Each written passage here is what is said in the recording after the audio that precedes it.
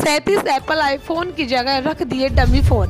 Company के वाहन चालकों ने बनाया ठगी का प्लान, छियालीस हज़ार रुपए की ठगी का मामला दर्ज कराया। जयपुर के विश्वकर्मा थाने में शुक्रवार को ऑनलाइन ऑर्डर किए गए सैंतीस एप्पल आईफोन बदल ठगी का मामला सामने आया है। ठगी ने असली फ़ोन की जगह डमी फ़ोन रख दिए। इस संबंध में अमेजन कंपनी की ओर से विश्वकर्मा थाने में नई दिल्ली की मेजर्स ऑलराउंडर गुड्स कैरियर नामक फर्म ने नामजद मामला दर्ज कराया। है फर्म की ओर से दर्ज मामले में राजू अमर सिंह मोहम्मद सो, सोराब अब्दुल मालिक अल्ताफ भाई रफीक भाई और अमिता भंकात को आरोपी बताया गया है।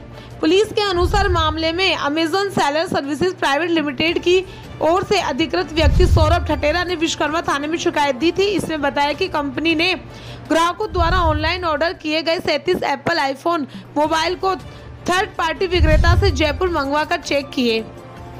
सभी असली सील पैक डिब्बों को बदलकर उनके स्थान पर नकली माल के डिब्बे रख दिए। उनमें से असल आईफोन मोबाइल और एसेसरीज को चुराकर उसकी जगह नकली मोबाइल फ़ोन के डमी सेट रख दिए। आरोपियों ने आपस में साजिश रचते हुए खुद लाभ कमाने के लिए कंपनी के साथ चोरी, धोखाधड़ी और छियालीस लाख इक्कीस हज़ार तीन सौ रुपए की ठगी कर ली।